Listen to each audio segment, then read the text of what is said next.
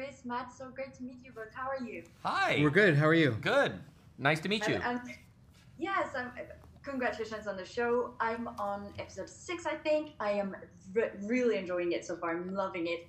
Um, what I love about the MonsterVerse, in a way, uh, is that there is a sense of timelessness uh, with Godzilla, especially since it was created in the in the 50s, 54, if I'm not mistaken.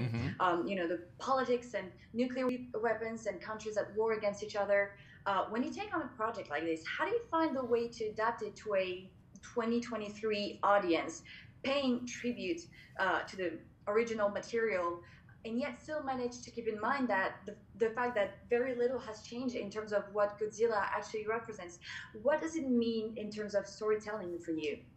Well, I think we had to. I mean, those uh, the the the monsters speak to a, a sort of an existential anxiety or angst for every era. It's like you said, it comes out of you know post World War II Japan, and then you get into the 50s and the Cold War, and then you get in the 60s and 70s, and there were all kinds of environmental and ecological threats. And now we were working on the show in the modern era, and you have issues of global climate change, and we were producing the show in the middle of a pandemic. Um, and those, I think, those issues keep these characters relevant and keep those issues relevant through all the generations. It's why it's been so enduring.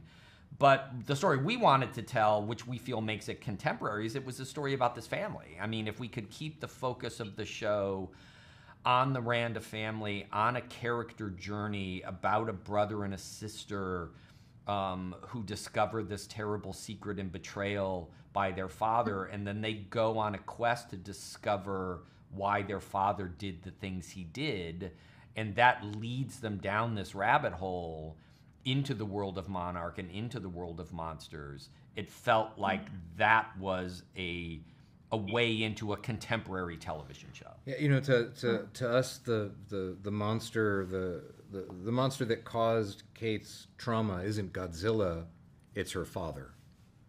You know, Yeah. and, and and and you know, our our, our- our monsters are, are all kinds of scale in this movie, but uh, in the show. But like the movies, it's an allegorical frame or mirror or lens that lets us look at whatever our anxieties are, existential or otherwise. And there's no more existential kind of threat than like, what if my family isn't is, isn't what I think it is?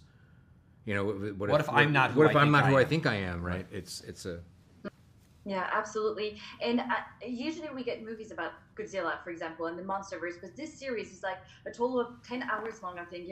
And there's always a cliffhanger. You have to keep watching. So it very much feels like a very long movie. What was that experience like for you to take something we usually watch in the theater on the big screen, make it into something people will binge at home? How did you know uh, what to add, what to put in this series that will keep people hooked until the very last seconds of the very last episode?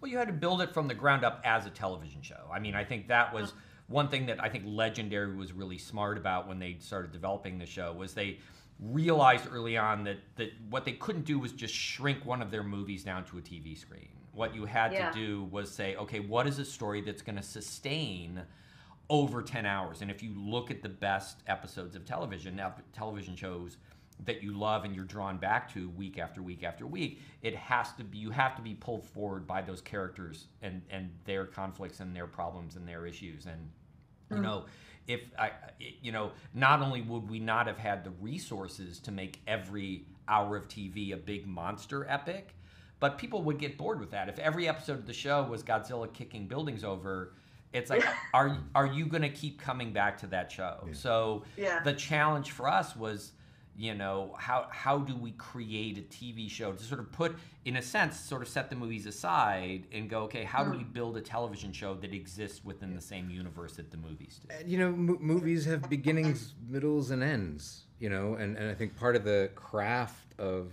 telling serial fiction is that what's the hook? You know, how do you get someone to at the end of an episode go ah?